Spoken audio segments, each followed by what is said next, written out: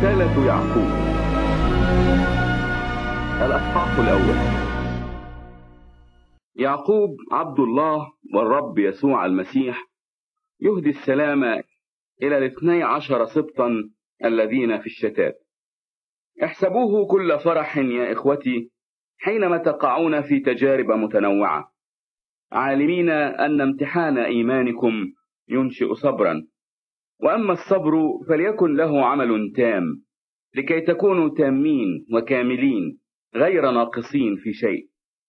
وإنما إن كان أحدكم تعوزه حكمة فليطلب من الله الذي يعطي الجميع بسخاء ولا يعير فسيعطى له. ولكن ليطلب بإيمان غير مرتاب البتة لأن المرتاب يشبه موجا من البحر تخبطه الريح وتدفعه. فلا يظن ذلك الإنسان أنه ينال شيئا من عند الرب.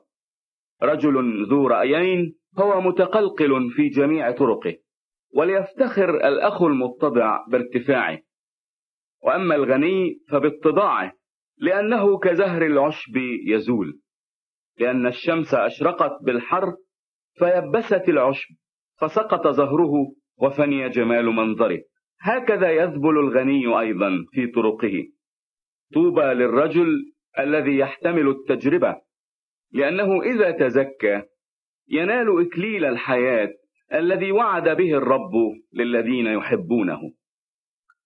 لا يقل أحد إذا جرب إني أجرب من قبل الله لأن الله غير مجرب بالشرور وهو لا يجرب أحدا. ولكن كل واحد يجرب إذا انجذب وانخدع من شهوته. ثم الشهوة إذا حبلت تلد خطية والخطية إذا كملت تنتج موتا. لا تضلوا يا إخوتي الأحباء كل عطية صالحة وكل موهبة تامة هي من فوق نازلة من عند أبي الأنوار الذي ليس عنده تغيير ولا ظل دوران. شاء فولدنا بكلمة الحق لكي نكون باكورة من خلائقه. إذا يا إخوتي الأحباء ليكن كل إنسان مسرعا في الاستماع مبطئا في التكلم مبطئا في الغضب. لأن غضب الإنسان لا يصنع بر الله. لذلك اطرحوا كل نجاسة وكثرة شر. فاقبلوا بوداعة الكلمة المغروسة القادرة أن تخلص نفوسكم.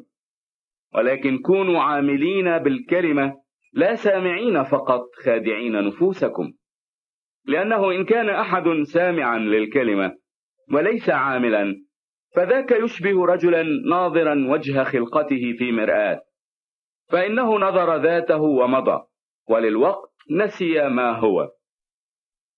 ولكن من اطلع على الناموس الكامل ناموس الحرية وثبت وصار ليس سامعا ناسيا بل عاملا بالكلمة فهذا يكون مغبوطا في عمله.